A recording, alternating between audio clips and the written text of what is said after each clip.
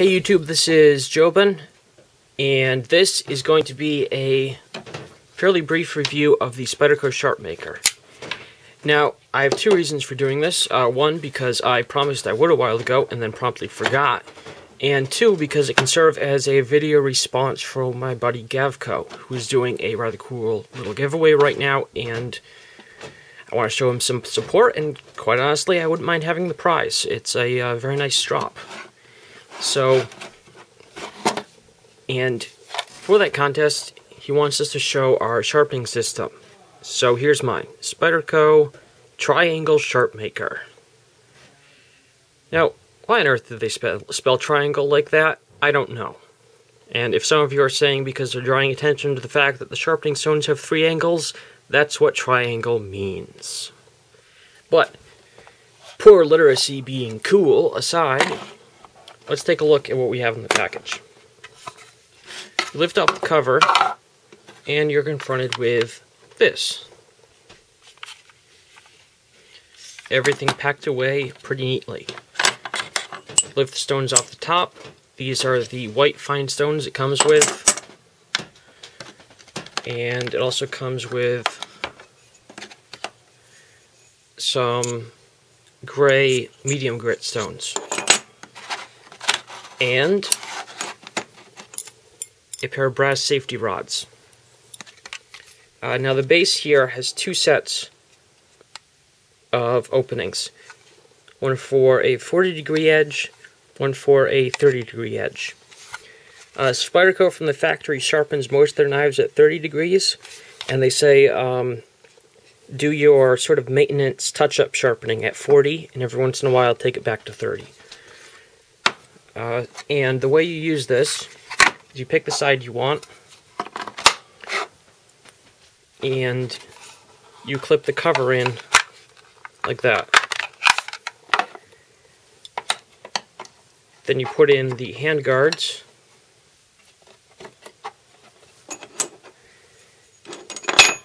and then you take the triangle stones and you slot them into the base. And that leaves you with a system like this where you can draw the knife blade straight down, alternating sides to sharpen it up.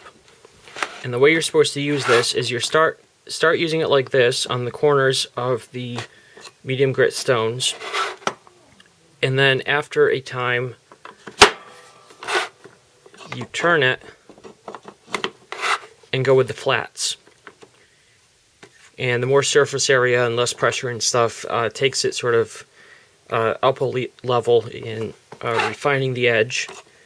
And then when you get done with the brown stones,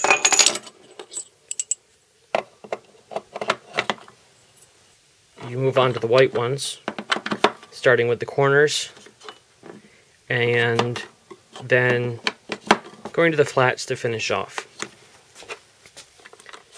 Now this is a pretty good system.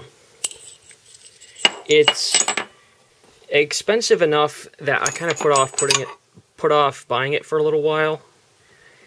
But it really works quite well and it is cheap actually cheaper than some of the other sharpening systems. And the thing I really love about it actually is its ability to sharpen serrations, which is why this Byrd Crossbill was out here before at the beginning. Um, I don't want this video to go too long. I explained how it works. You could just watch me do it, but also this knife is already sharp. You know, ah, here, but... You know, can your serrated knife do that? You know, it's serrated. It tears occasionally, but look at that cut. Or push cut. So, if you like, if you've never uh, handled a sharp, a truly sharp serrated knife before, they can be kind of awesome. And of course, it does plain edges just fine as well. You can, in a few minutes, uh, take a moderately dull knife and bring it back to hair popping sharp again. So it's it's a good system, and it's very very easy to use. It doesn't have much of a learning curve at all, in my opinion. Um, Even comes with a video, which is a little cheesy, but it works. Tells you how it works. Very thorough instruction manual, too. So overall, it's a good system. And uh, the I reviewed my uh, Lansky turnbox system a while ago, and one shortcoming of that I mentioned, despite it being a very good value for the money, is the stones are fairly short, so the length of knife you can sharpen on it easily is basically tops out at medium pocket knife length. But here you have significantly longer stones. Not sure exactly how long they are. Oh, here's my ruler. On these you're going to have, uh, let's see, the stones are 7 inches long. Which is about 50% longer working area than the little Lansky turnbox, I think. I don't have that one with me to check, but uh, that's what about what I think.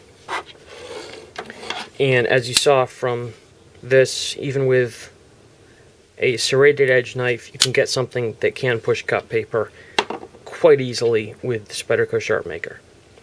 So, uh, worth it overall? Yes, I would say so. Alright guys, uh, there's my review as best I could get it in about six minutes.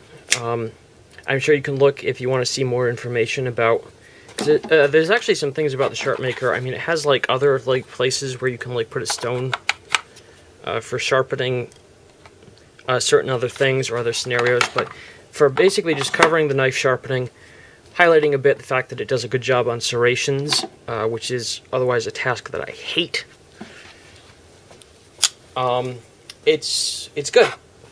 So, guys, I um, I hope you enjoyed this video somewhat, and again, check out Gavko's channel if you haven't already, and I will catch you guys later, and remember where your knife is.